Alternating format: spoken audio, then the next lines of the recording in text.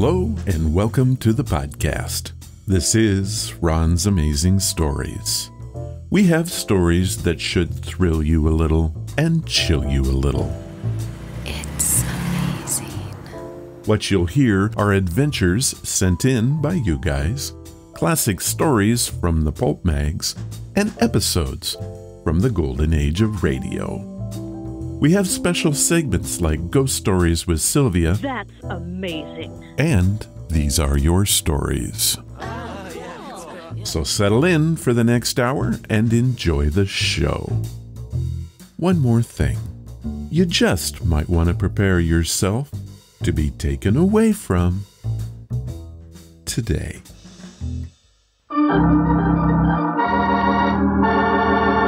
Another five minute mystery.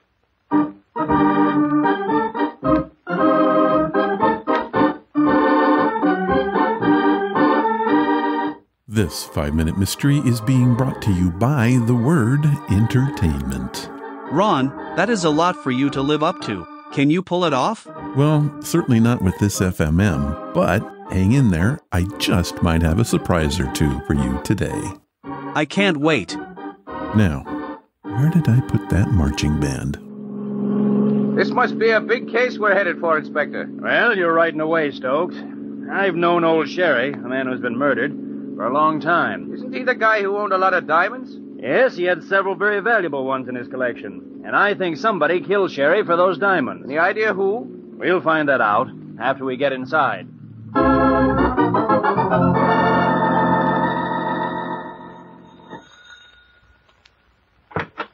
Hello, Inspector Crothers. I'm glad you got here so soon. Oh, hello, Dr. Matthews. I brought Sergeant Stokes along to help. Fine. Come on in, won't you? The man who phoned me, Mr. Sayers, is in the study where they found Sherry. Yeah, we'll come along after you, Doctor. Inspector Crothers, this is Mr. Sayers who found Mr. Sherry unconscious when he came in. How do you do, Mr. Sayers? Holy Moses, look at this place. Looks as though a cyclone had struck it. Now, um, tell us what happened, won't you, Mr. Sayers? I'd like to get the story straight. Well, in a very confidential capacity, I represent a large diamond buying syndicate. Mr. Sherry was known to have a very extensive collection of gems, one specimen in particular that our firm wanted to buy. And you were sent to see if he would sell it? That's right. I made an appointment with Mr. Sherry for this evening. He said to come here and that he might be back here in the study and not hear the bell. If no one answered, I was to come right in. He would leave the door unlocked for me. Isn't that a rather strange thing for a man to do who has a valuable collection of diamonds in his house? Well, I thought so at the time, but I thought also that Mr. Sherry was perhaps, well, eccentric. You see, I'd never met him, nor, as a matter of fact, heard of him until yesterday. I come from another part of the country, you see. And he was alone. Completely. You can imagine how shocked I was at finding Mr. Sherry lying on the floor by the desk, unconscious, and the room all upset. When Mr. Sayers phoned me, I imagined that Sherry was suffering from one of his chronic attacks. However, I find that the man has been hit at the base of the skull by a powerful blow, breaking his neck and killing him instantly. You say you were familiar with Mr. Sherry's chronic attacks, Doctor? Yes, I've been Mr. Sherry's personal physician for many years. That was why I phoned Dr. Matthews, Inspector. I knew that he would be able to offer the best help. Mr. Sayers, your theory is a very nicely calculated one. In fact, I would have acted on it if it hadn't been for one thing. As it is, though, I'm holding you for the murder of Mr. Sherry and for the attempted theft of his diamond collection. What mistake did Sayers make that caused the inspector to hold him on a definite charge of murder? In just a moment, we'll tell you, but first.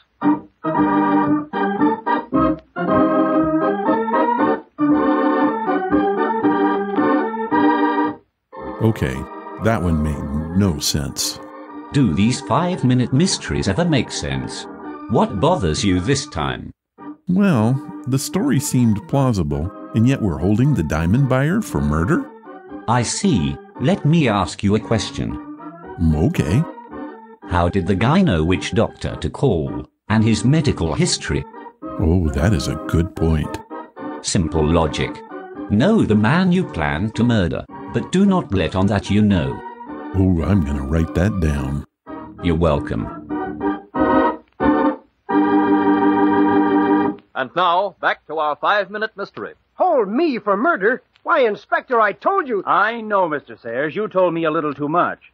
When you said you had never met Sherry nor heard of him until a day ago, everything was fine. But when you said you called his personal physician purposely, you caught yourself.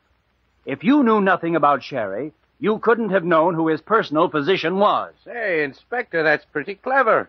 Pretty clever.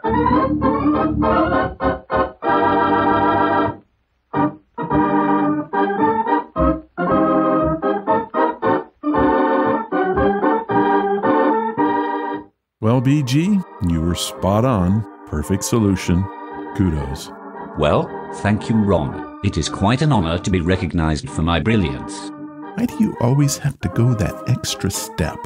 I am not sure what you mean. Don't you, though? I am sure I don't. And that's why you are a pompous ass.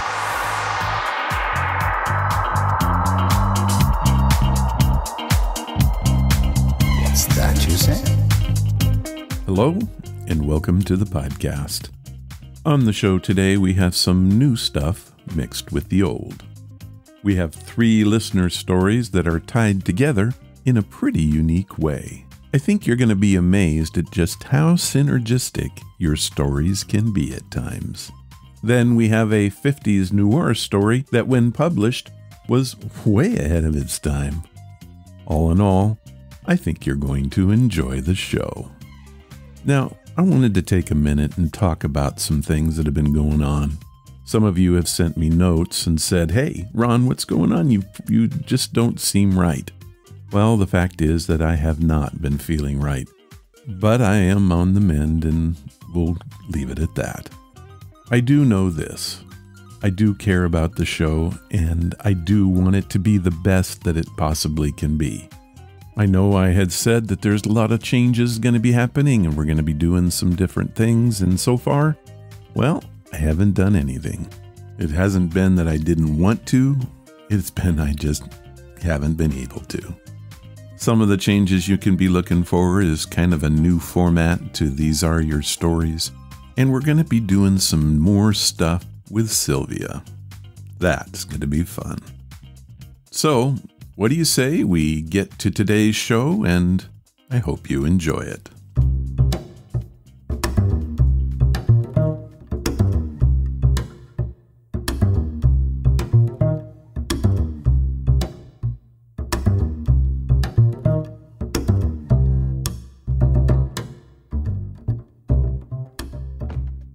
Today's podcast is brought to you by Audible. Get a free audiobook and a 30-day free trial at audibletrial.com slash Ron's Amazing Stories. They have over 180,000 titles to choose from for your iPhone, Android, computer, Kindle. Whatever you have, you can listen to Audible on it. So what am I listening to right now? The Sleeping Dragon, Guardians of the Flame, Book 1 by Joel Rosenberg. Have you ever played a role playing game like Dungeons and Dragons or GURPS? These pencil and paper games are a lot of fun and they force you to stretch your imagination to the limits. But what if they were real? Just for a minute, imagine that you are transported to the actual place and forced to put your very life on the line. That is the premise of the book, and here is a clip.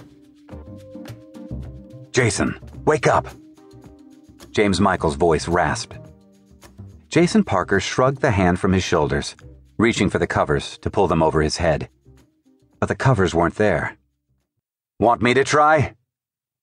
The voice was Karl Cullinane's, but changed. A deep, rich baritone. No, we'll do it. You go back to your little friend, Doria said. Maybe she's over her crying jag by now.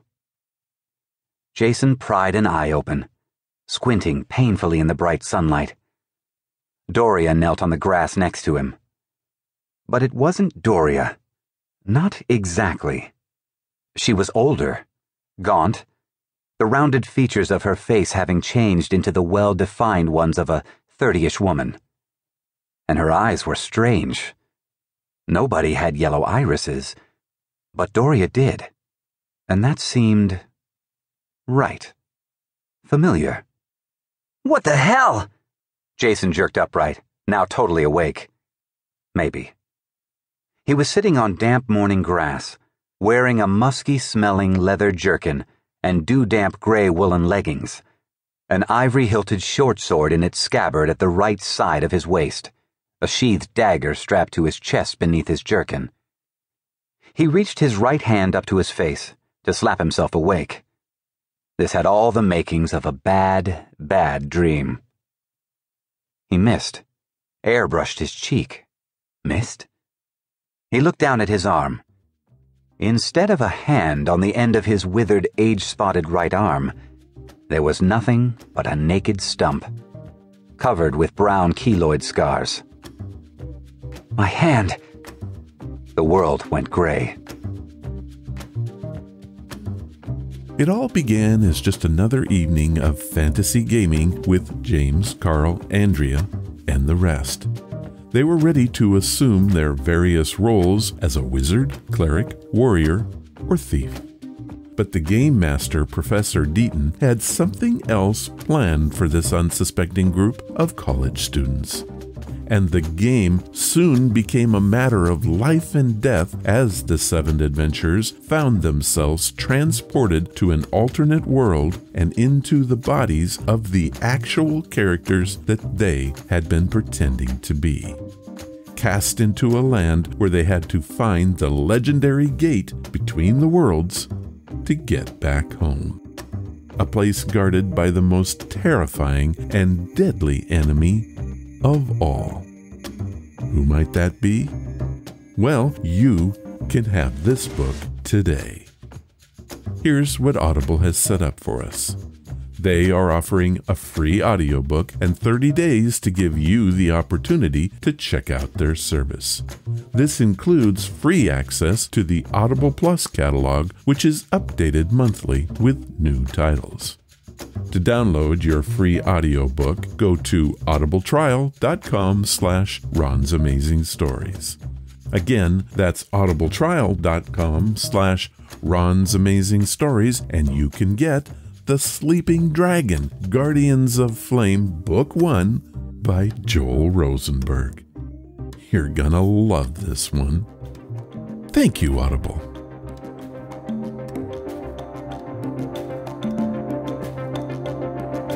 And now it's time for your stories in review.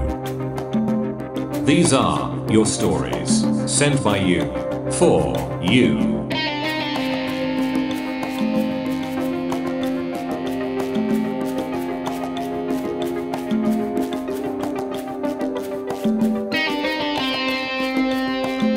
For this round of These Are Your Stories, we have a theme. Jesse Owens once said, We all have dreams. But in order to make a dream come into reality, it takes an awful lot of determination, dedication, self discipline, and effort. This, however, is not what we'll be talking about today dreams, night terrors, and other strange events that take place while we're sleeping, or at least trying to. I have to be honest and say most of these stories are pretty creepy, and you just might want to think about leaving your lights on. Like our first story from Michael Blackstorm, who lives in Montana. It is the persona of creepy. Hello, Ron. I want to share a story with you that might be too freaky. I'm not sure that you want to use it. About six years ago, I was sleeping. My pajamas, at the time, were a sweater with hoodie and pants. I was listening to music and I could hear my dad in the other room watching TV. Like 30 minutes after I fell asleep, I felt like something was grabbing my legs and slowly making its way up to my face. I wanted to scream for help, but I couldn't. Once this creature was face to face to me, I was not able to see it at the beginning because it was covering its face. I struggled with it and finally was able to throw this thing from my bed. I turned to look at it, and it was me. Literally me, same clothes and everything, but it was angry like an animal. It looked at me with pure evil in its eyes, and I knew it wanted to hurt me. I covered myself with blankets, and after a while I slowly pulled them back, and it was gone. I looked around, settled back into bed, and somehow fell back asleep. Then it was on top of me again, growling and looking at me in anger. I was able once again to throw it off and watched as it slowly faded away. The next morning I saw my wrists had marks on them as if something had been holding on to them tightly. I told my dad about what happened, and he seemed to know all about it. He said that dreams are where evil creatures can take hold. That day he went out and bought me a dream catcher, which I keep by my bed to this very day. I have never had an experience like that since. Michael Blackstorm, Montana. Michael, that is creepy and strange, and I want to thank you for sharing it with us. For those of you who don't know what a dreamcatcher is, it is a willow hoop on which is woven a net or web. The dreamcatcher may also include sacred items such as certain feathers and beads. Traditionally, they are hung over a cradle to protect the infant. It originates in the Anishinaabe culture as a spiderweb charm. It's meant to replicate a spider's web. Legends held that the dream catcher would allow good dreams to pass through and float down the hanging beads and feathers to the sleeping child. We have a similar experience from Benjamin Reed, who, strangely enough, also lives in Montana. He lives in the city of Great Falls and sent this one in for us to enjoy. I have edited this and received Ben's approval. I have LED lights set up around my bedroom and leave them on during the night. I set them to red so the room is dark enough for me to sleep. I sleep in the bottom bunk of a bunk bed, but I have the room fully to myself. My brother hasn't lived in the house for two years now. One night I was sleeping on my stomach, my head tilted towards the other side of the room where a pile of boxes of my dad's stuff sits. I open my eyes and I see this creature who looks just like me on top of the boxes. It had the same hair, body, and proportions as me, but his eyes were completely white. I felt my heart start racing, and suddenly the creature jumps to the ceiling and crawls to the upper bunk. It peers down from there, looking at me. Then it looks up at the ceiling and moves insanely fast towards the ladder to the upper bunk and starts to climb an invisible portion of it. When it just reached the ceiling, there was this flash of white light, and I woke up. My whole body was twitching, and somehow I knew my soul had returned to my body. Then I fell asleep. Later, the events had me thinking that maybe the creature stayed in that top bunk the whole night, which is, when you think about it, kinda spooky. Benjamin Reed, Great Falls, Montana. That is another strange story, and so very similar to Michael's. Creepy with no explanation other than maybe it was a dream? However, from your description, it doesn't sound like it because it appears it was all so real. Thank you, Ben, for your story. This next story was sent in to the website without a name or place of origin. However, the email address was from ESP The Truth Is Out There and was titled, I Jumped Out of My Skin, literally. When I was 14, staying the summer at my granny's house, I slept on her sofa every night. Early one morning, I woke up and walked into the kitchen. The sun wasn't quite up, so the kitchen was still fairly dark. Granny's house is really old. The light fixtures were just bulbs that hung down from the ceiling on wires with a pull string to turn them on. I kept reaching for that dang string to turn on the light, but for some reason I just couldn't manage to get the light to turn on. I wandered over to the window and looked out for a moment before turning back to the sofa. Suddenly, I heard the sound of the paper boy approaching to leave Granny's newspaper in the box right next to the front door. I hurriedly tried to get back to the sofa so that I wouldn't be seen in my undies through the window. It felt like my feet were just slipping around and my legs were like rubber when I tried to move, but I did manage to get back to the sofa, only to find that I was staring down at my sleeping self, lying face down, still on the sofa. I was terrified. Without hesitation, in a panic, I jumped on top of myself and hoped for the best. At that instant, I jolted awake with a shock that ran through my chest. My eyes flew open, my fingers tingling, and I pulled in a huge, painful gasp for air. Next, I jumped off the sofa, for real this time, without caring if the paper boys saw my undies. I was alive and could not believe what had just happened. As time went on, I found out that this experience was nothing that unusual or anything to fear, and that it would happen to me a few more times. However, my re entries were much more graceful after that first ordeal. ESP, the truth is out there. Incredible. I've heard these out of body experiences before, and each time I marvel at them. I myself have had lucid dreams that have felt like that, but nothing so surreal. Thank you for sharing this, and please write back so that I can give you your proper credit. Our last story comes from Mississippi by way of Houston, Texas. Helene Blair sent this story in via email and has titled it Bats, Shadow, Mice, and More. Here is her story. So, my family moved to Mississippi when I was five years old, and let me tell you, it was not a good experience for me growing up in that yellow, gray, and green house. It was okay the first three days there, until it wasn't. It was Thanksgiving and my mom was cooking. It was cloudy and gray outside, so we three girls were watching cartoons and eating leftover marshmallows. That's when we heard it. It sounded like birds in the chimney, but as it got louder, it sounded more like screeching. It scared the heck out of us, especially when my dad told us that it was bats, not birds. He grabbed a big trash bag and held it at the entrance of the chimney. It was like any scary movie. There were so many bats flying into the bag that it filled right up.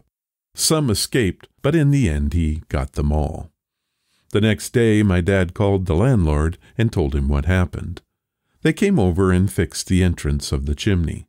We didn't have any issues with bats after that, but this event should have been a warning to us that there was something wrong with this house. Things started getting more weird. We had a mouse problem. They got into almost everything, and that was just the tip of the iceberg. It started with me sleepwalking up to the second floor of our house and waking up in front of the mice hole on the wall. But what made it more weird is that it kept happening every night at 3 a.m. Sometimes I would wake up on the floor in front of it with my finger stuck in the hole. So creepy. At night, we would hear footsteps in the house, and I would see shadow people walking around outside. I told my family, but they said it was just a weird dream. Speaking of dreams, I had a recurring one of being kidnapped by shadow people in a white van where the windows were covered in white. They would remove all my fingernails. So dang scary. I never told my parents about this one because I thought they would think I was crazy. The strangest thing that happened was one night I was wandering through the house looking at things.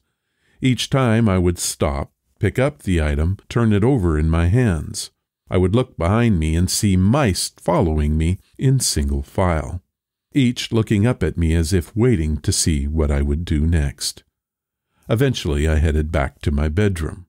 There, I found myself soundly sleeping. I didn't know what to do. I reached out to touch me, and then it was morning. I kept having those experiences until we moved to another home. After that, all the strange stuff stopped. My mom told me some years later that she saw a soldier from either World War I or World War II standing over her bed, pointing a finger at her belly. She didn't know why the ghost did that, and she didn't want to know. Some years passed, and we moved to Houston, and my mom told us that the house we lived in back in Mississippi was haunted as hell. She told us that the house was sitting on a graveyard dedicated to Civil War and World War I victims. She never told me how she knew that. Colleen Blair, Houston, Texas. What a story to end on. Out of body, dreams, ghosts, bats, mice, and shadows? So much to unpack from this one, and thank you, Colleen, for sharing it with us. I don't have much to say other than I'm glad that you're out of that ugly yellow, gray, and green house. I don't think we've ever had a story with so many elements. Well, those are your stories for this time. If you have a story that you want to share, like Colleen did, head to the main website at ronsamazingstories.com and click on the story submission banner. And please tell me your name and where you're from, and also don't forget to title your story. Make your stories our stories.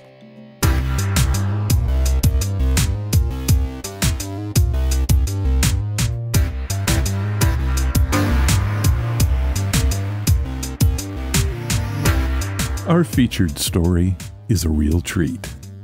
After a murder, Lieutenant Stevenson questions the dead man's girlfriend. Sensing that she's keeping a secret, he confronts her at home, where he meets an identical twin sister. Both women appear exactly alike, sometimes even posing as each other. However, when a twin expert analyzes the sisters, he finds that one twin is normal and the other is psychotic. But which one?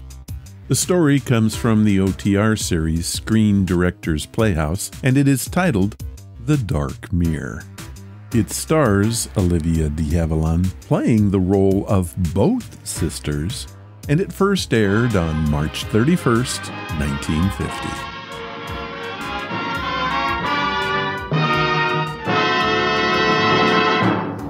RCA Victor, world leader in radio, first in recorded music, first in television, proudly presents.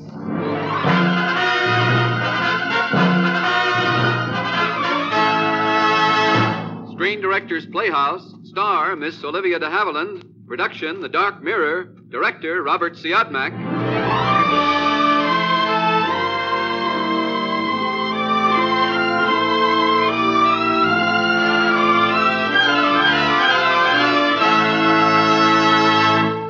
Hollywood Screen Directors present a reflection on murder. The motion picture drama The Dark Mirror, starring Academy Award winner Miss Olivia de Havilland. Tonight, Miss de Havilland recreates her original dual role in the film as she plays the twin parts of Ruth and Terry.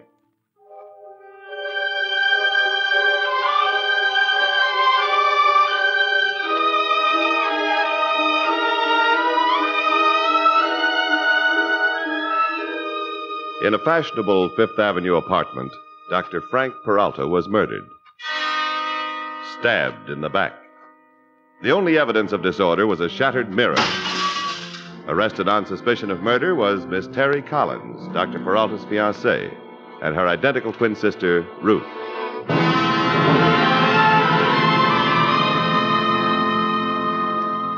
Mr. District Attorney, we've been at this questioning for hours and getting nowhere.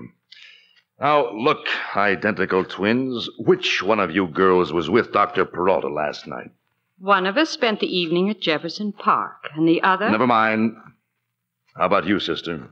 One of us stayed home. Uh, but which one did which is what I'm asking you. Which one did which? One of us. That's what I've been hearing for hours. One of us spent the evening at Jefferson Park, and one of us stayed home. Dr. Elliot, you're a psychologist and authority on the subject of identical twins, and you're personally acquainted with these girls, and Now, I'd like hold to it, Lieutenant Stevenson. I knew these girls one at a time. They were working at the newspaper counter in my office building. I didn't know they were twins. Dr. Elliot, you knew Dr. Peralta and had conversation with him the day he was murdered. He asked you if you ever came across a case of split personality and whether it was dangerous. All right? Clarify that. I told him I couldn't say, that he had to cite a specific case. Then he said I had a battle with her this morning, and I'm seeing her tonight. Seeing who tonight? Miss Collins, I suppose. Which one? I haven't the faintest idea. Uh, where do we go from here, Mr. District Attorney? Nowhere. You haven't a witness that can tell one girl from the other. I wouldn't have a chance in court. Young ladies, one of you is a murderess. You've killed a man in cold blood. The other is an accomplice. But the law forbids the indiscriminate prosecution of more than one person in order to make sure of one guilty one. I have no words adequate to express my contempt for both of you. Now get out. We're free? You're free. Goodbye, Lieutenant. Au revoir, Miss Collins. All right, sit down, Doc.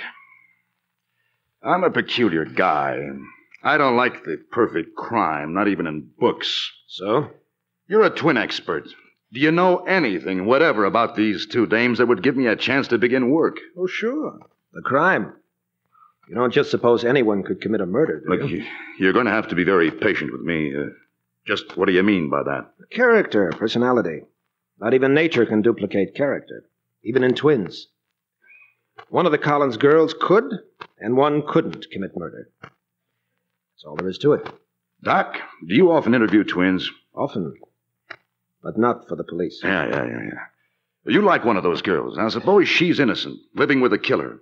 And one of them killed once with a knife. Don't you think there's a chance she'll kill again? Her sister, if she ever became nervous about her? There's no doubt about it. I'll never ask you the name or proof. It's out of the question, Lieutenant. I'm not a detective. Besides, I didn't say I was in love with the girl. I simply said I like her. How do I know she wasn't the one who did it?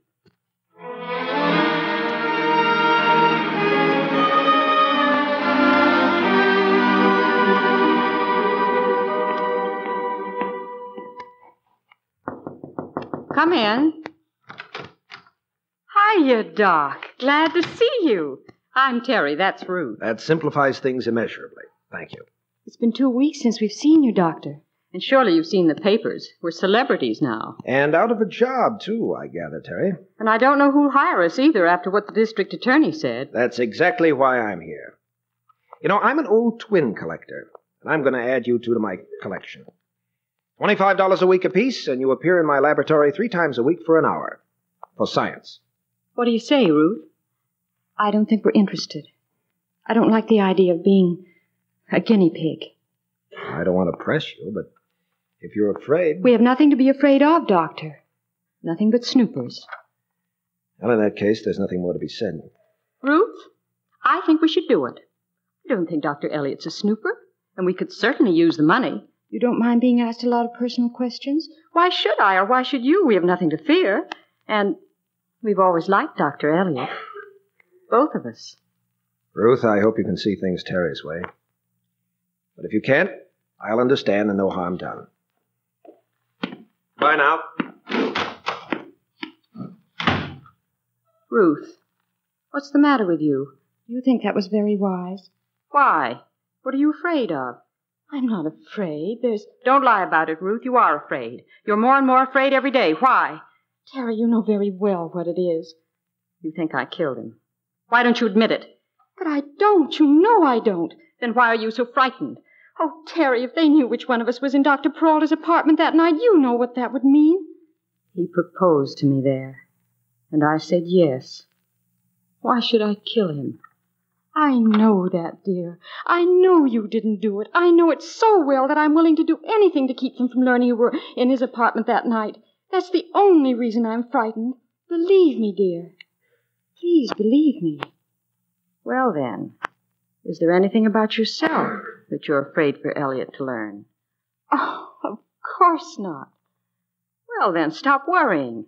There's no need for it. And besides, he's very good looking. I like him.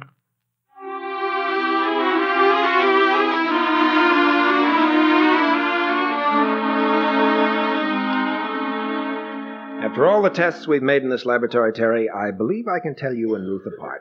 Well, you're the first one who ever could. who do you like best? Ruth or. Naturally, you, Terry. Let's get down to business again. Now, these are pictures of ink blots, just blobs of ink in the paper folded over. Tell me what you see in the blots. Why? That's just another way of examining personality. Hmm. This blot looks like a lamb. Under its front paws are two men, face down, with their arms outstretched. It all seems symbolic of something. The lamb looks so innocent, but it has two men under its paws. Symbolic of what? The lamb of death?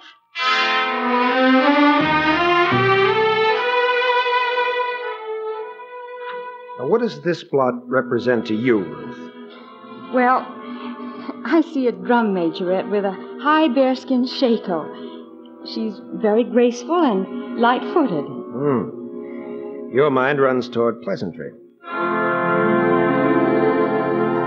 You know, you were telling me you always leaned on Terry. Yes, all my life, Terry's been like an older sister to me, always helping and protecting me.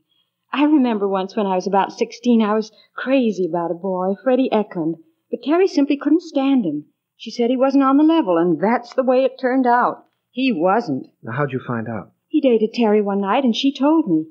Oh, but that's kid stuff. Let's try another experiment, Ruth. I'm going to give you some words. As soon as you hear the word, you answer with the first word that comes to your mind, you see? Mm-hmm. Table, Um, chair, lamp, shade, dark, night, mirror. death.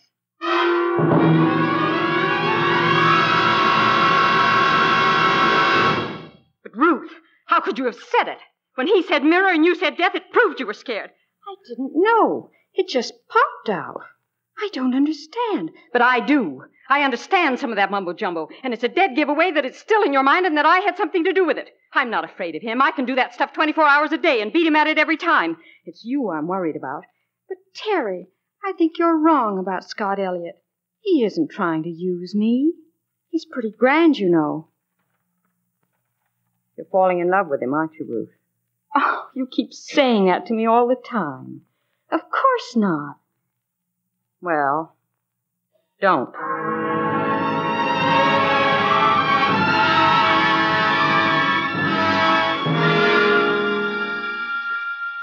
Moon, Beans, white, black, king, queen, death. mirror. How's my character development, Doctor? Very interesting, my dear Terry. Perhaps you've read my mind well enough to know that I might like seeing you. That's a mighty fine invitation. But I'll have to wait until we've finished our tests. All right. But the first night afterward, it's a date. You won't forget. Cross my heart. Bye now.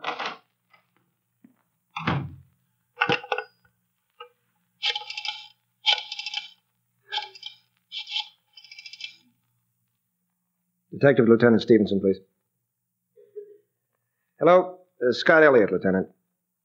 I have some news for you. One of our young ladies is insane. Very clever, very intelligent, but insane.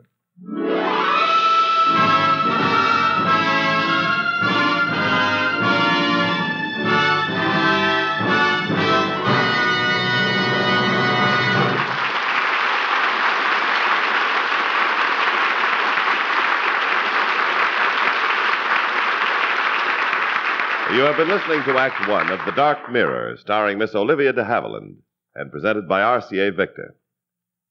Nowadays, the most popular American sport next to baseball is the television boasting contest. Well, when you own RCA Victor's superb new 16 inch console, the TC 167, you'll win all such contests hands down. For this magnificent set is a champion on count after count. Its aristocratic cabinet, its built in antenna, its phonojack for attaining, attaching any record player, its glorious RCA Victor golden throat tone. As for the giant 16 inch pictures, they're RCA Victor's finest, which means the world's finest. When you unveil this RCA Victor champion to your awestruck neighbors and accidentally tell them the price, they'll think you're an investment wizard. For the suggested list price of the TC 167, slightly higher in some locations, is only $399.95 plus federal tax. And the returns on that investment, daily entertainment through years of that matchless performance synonymous with RCA Victor Television. America's first, America's finest, America's favorite.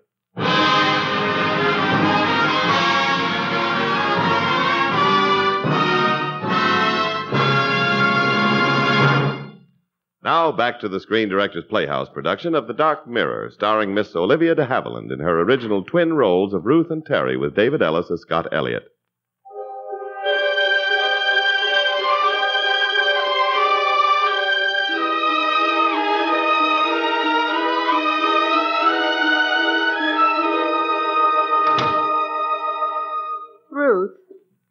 Spend the evening with Dr. Elliot? What? Yes. I warned you to stay away from him. He's trying to pump you. oh, I'm sorry, but I can't help but think he's pretty trustworthy. Ruth, it's getting late. Why don't you go to bed, darling?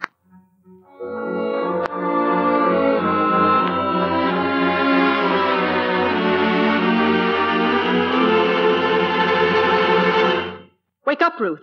I said, wake up. Wake up. What? What? What's the matter? What's the matter? You were sobbing hysterically. It was pretty harrowing for a few minutes. Oh. Oh, you must be mistaken, Terry. I- Tonight wasn't the first time. It happened last night and the night before that. Don't you want to know what seems to be frightening you? Oh, I, I don't know whether I do or not. You keep repeating it over and over in your sleep. You're worried about one of us being crazy. Oh, this is awful. It frightens me. The whole idea of talking and dreaming and sobbing and remembering nothing about it. Well, it can't be very pleasant. But it's really not so important. Just bad dreams. Oh, I, I don't know what to say. I. The night before last, you jumped out of bed screaming someone was putting the lights on and off. Darling, the lights were never on. Oh, something's happening to me, and I don't know what it is. I don't understand it. I'm worried about you, Ruth. I must watch you more closely before something dreadful happens to you. Oh, I'm so scared. I don't know what to do. There, there. Just remember I'm with you. And I'm always going to be with you. No matter what happens.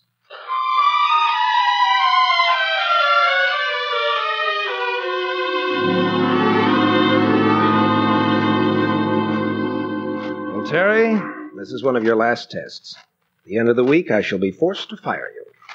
In other words, I can look forward to a date with you Saturday night? I'm afraid I can't make it. Who's my rival? You have no rival. Come on. Let's get on with the lie detector experiment. hmm? You can ask me anything you wish. I have nothing to fear. I know that. You ready? Ready?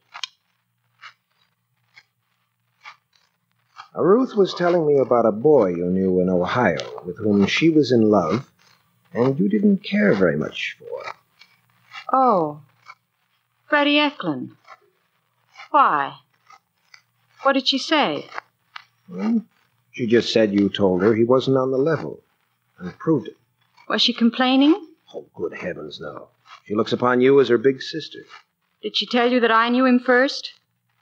No, I don't believe she did. Well, that's the truth of the matter. I met him first and introduced him to her. And he didn't care in the slightest for her, and I knew it. And then he started going around with her, without her even dreaming for one second that it was actually me that he was lying. interested in. Now I know the answer.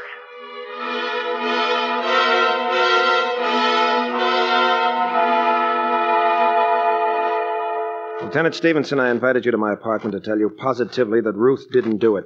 She isn't capable of murder. Well, that does narrow it down a bit. Terry's a paranoiac.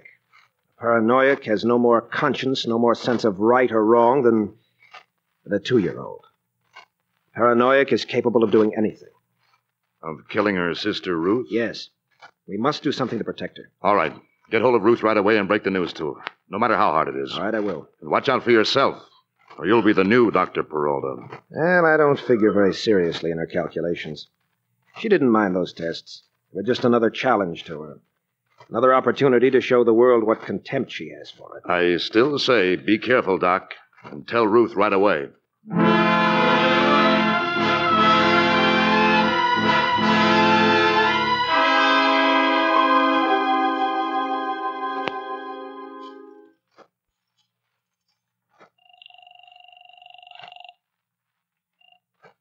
Hello? Hello, Ruth. Hello, Scott. How are you, dear? Ruth, are you alone? Yes. Why? Well, I don't want Terry to know. I want you to come to my apartment as soon as possible. It's vitally important. I'll be right over. Scott. What? Ruth, but I just talked to you. What? Never mind, I'm glad you're here. I saw the light in your apartment. I've been walking, and I thought Why, you're pale, darling. You look as if you've seen a ghost. something like that.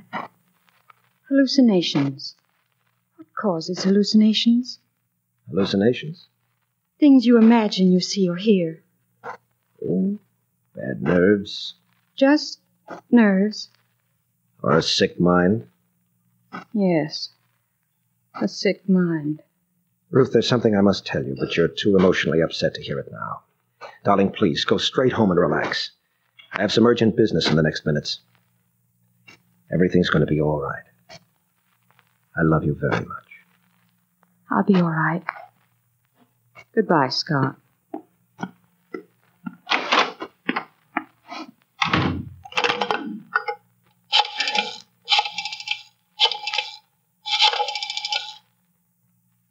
Lieutenant Stevenson, please. Lieutenant, Terry Collins will be in my apartment in the next few minutes pretending to be Ruth Collins. I don't have time to explain. All I know is that I'm going to play the role of a human booby trap. Stick by your telephone.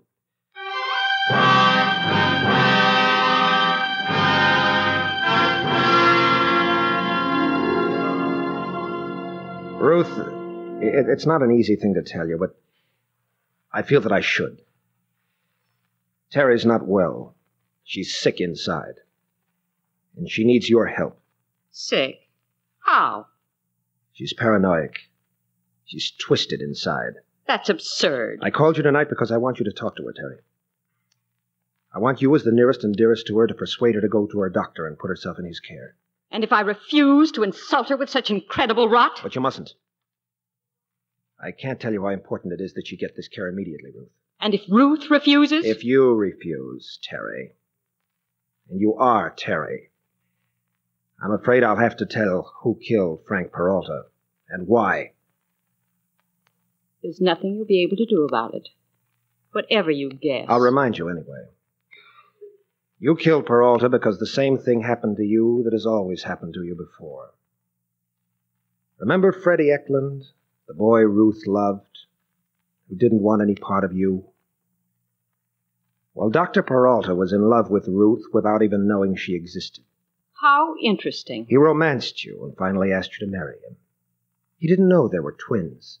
All he knew was that every now and then the girl at the newspaper counter brought him a warmth that he missed at other times. And that's what puzzled him.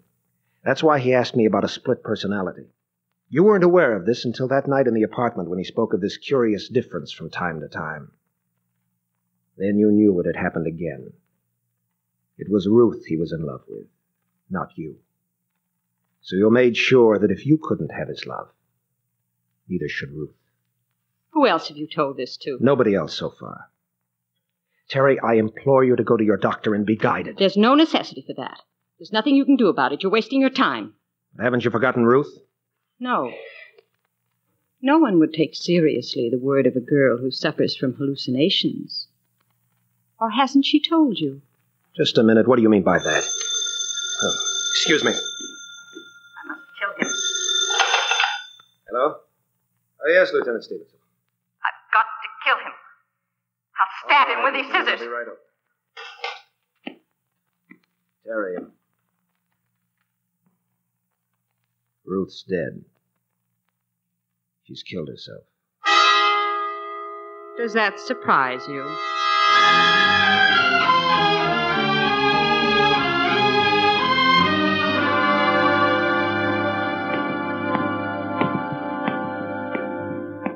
I'm sorry, Doc. The body's inside that room with the medical examiner. Go on in. Can you tell me what happened, Lieutenant? An overdose of sleeping pills. Why'd she do it? Her conscience. But she's free now, poor darling. And I have a right to some peace, too. Come on now. Make a clean breast of it. You'll feel better. She killed him. She was twisted inside. Scott told me tonight. You mean Ruth? No, Terry. I'm Ruth. She was sick inside with jealousy. That's why she killed him, Scott says. Wait a minute. You can't get away with it. You're Terry. Now, Scott, I thought you said you could tell us apart. Well, the test showed only what I've known for a long time that she hated me, hated me from the bottom of her heart, because men found it easy enough to like me, but not her. The mirror. The mirror!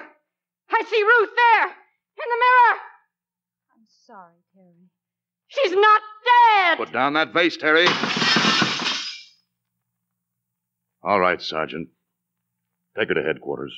Somebody do something for me! Now, Terry, now. Save me! Take it easy now. Save me! Terry, Terry. Save me!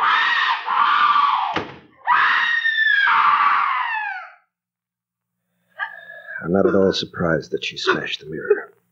I'm sorry I had to fake Ruth's death, Doc, but well, it was the only way I could get Terry to open up.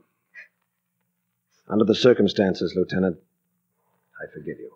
Scott, was the mirror me? The reflection was. That's what twins are, you know. Reflections of each other. Everything in reverse. What are they going to do with Terry? Don't worry, darling. She'll get the best that modern psychiatry can offer. Someday, who knows? Someday, Scott. There will be a someday for Terry. I know it. I know it. We'll be waiting for her, darling. You and I.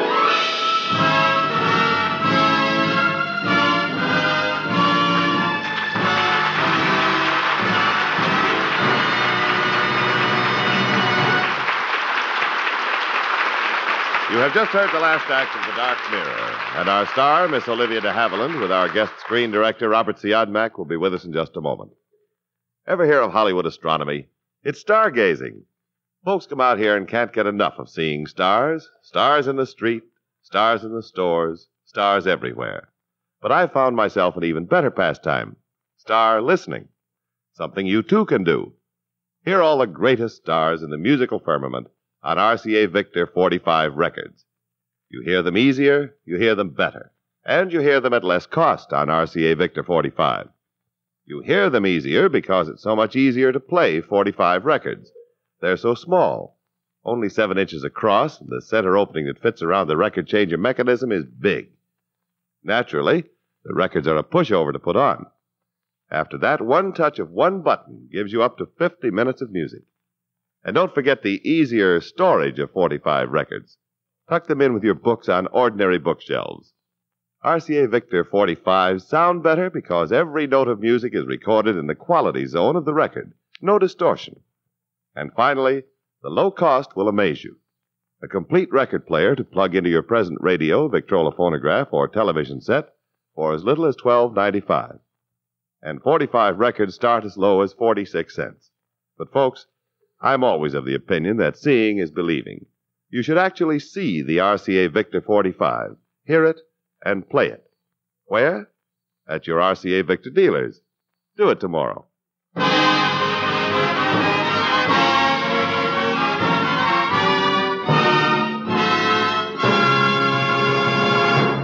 Next Friday, another great star sounds the saber clash of high adventure on the Screen Director's Playhouse. Our story is The Fighting O'Flynn, and recreating his original role will be Douglas Fairbanks Jr. with screen director Arthur Pierson.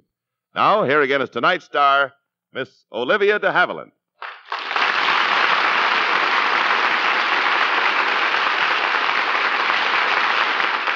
Ladies and gentlemen, If it's permissible for an actress to step out of her story, then it's only right that her directors step out from behind the cameras. And so I'd like you all to meet the director of The Dark Mirror and of such other films as The Killers, The Spiral Staircase, and The Phantom Lady, Robert Siodmak. Thank you, my dear. Thank you very much. But tonight, nobody wants to hear about directors. Oh, that's no way for the guest of honor to talk. No, the honor doesn't belong to me, but to the Screen Directors Playhouse. The honor of a performance by an actress so superb that she has won her second Academy Award. Thank you very much. Well, first you wanted for the award to each his own, and now for the heiress. But you know, they say in Hollywood that everything runs in three. So now you must do it once more. Hmm? Receiving a second Oscar is a thrill beyond explaining, but for the future, well, all I'm looking forward to is an opportunity to go on acting as well as I know how. And that gives us all something to look forward to. Good night, Olivia de Havilland. Good night. Good night, everyone.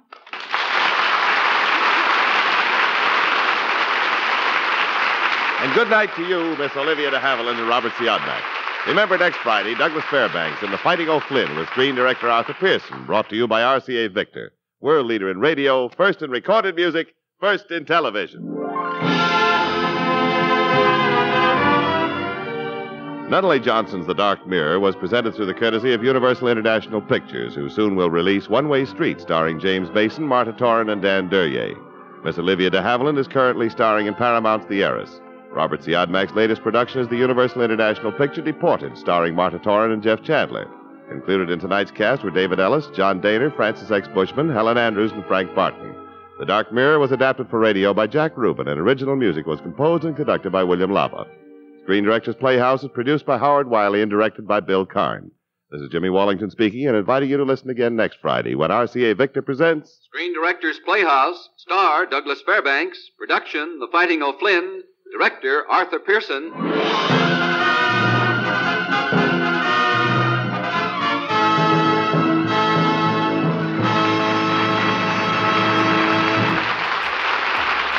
It's the great J. Rupert Durante, next on NBC.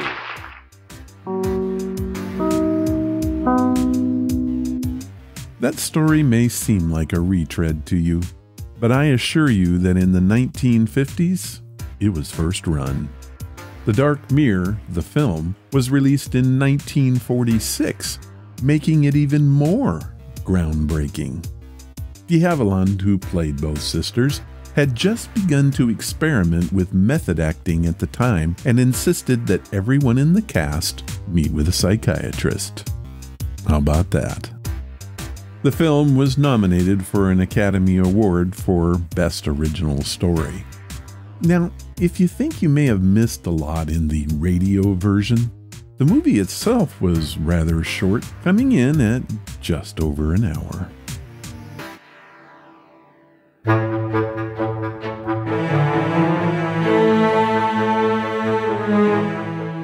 That was episode number 572.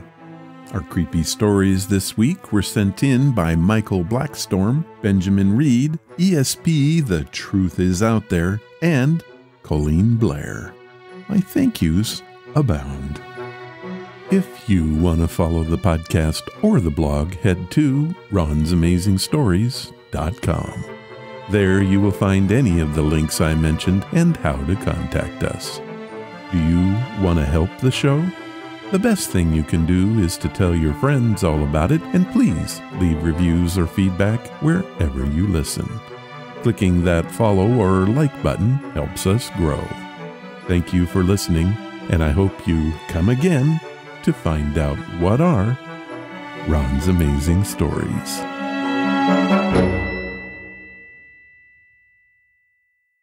All of the vintage audio used in the podcast is believed to be in the public domain.